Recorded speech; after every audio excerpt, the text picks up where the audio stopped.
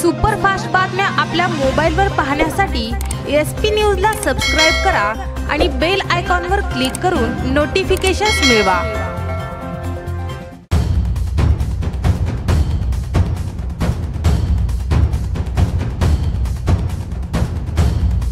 प्रत्येक गोष्टीची वेळ यावी लागते परवा एका सभेमध्ये मी चंद्रकांत दादांच्या धमकीला भीत नाही. भाजपला भीत नाही मी काय गैर कारभार कुठला केला नाही त्यामुळे मी भाजपात प्रवेशच केला नाही. धमकीला घाबरत नाही आणि भाजपने मला मदत असं आहे. की संजय मामांनी हे तरी मान्य केलं की भारतीय जनता पार्टीचे एकोणीस झेड पी मेंबर बरोबर त्यांनी जिल्हा परिषद अध्यक्षपद त्यांनी जवळजवळ दोन अडीच वर्ष भारतीय जनता पार्टी पुरस्कृत जिल्हा परिषद अध्यक्ष म्हणून काम केलं वारंवार त्यांनी मुख्यमंत्र्यांची भेट घेऊन अनेक प्रकारचे विकास निधी आणले.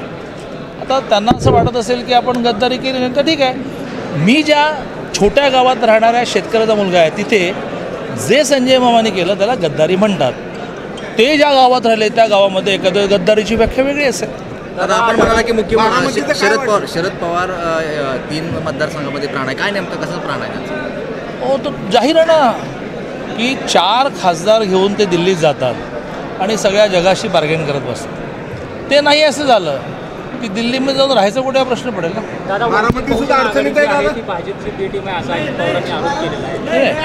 आता? त्यांनी केलेल्या आरोपाला त्यांनी त्यांनाच विचारावं लागेल मला विचारून चालणार नाही. नाही नाही बारामती सर्व अद्ययावत सोयी सुविधाने सज्ज असलेले पंढरपुरातील एकमेव लॉज विजयालक्ष्मी लॉज जवळच विठ्ठल मंदिर. चंद्रभागा नदी आणि व्ही आय पी असणाऱ्या स्टेशन रोडवर अल्पदरात अनेक सुविधा. आमच्या लॉजचे खास वैशिष्ट्य एसी नॉन एसी रूम्स चोवीस तास पाण्याची सोय आंघोळीसाठी गरम पाणी स्वतंत्र पार्किंग व्यवस्था पिण्यासाठी वॉटर फिल्टर अद्यावत लिफ्ट सुरक्षेसाठी सीसीटीव्ही प्रत्येक रूममध्ये टीव्ही व वायफाय सुविधा. तर मग पंढरीत यायचं तर विजयलक्ष्मी मध्येच मुक्काम करायचा. आमचा पत्ता Vijayalakshmi lodge station road Pandharpur.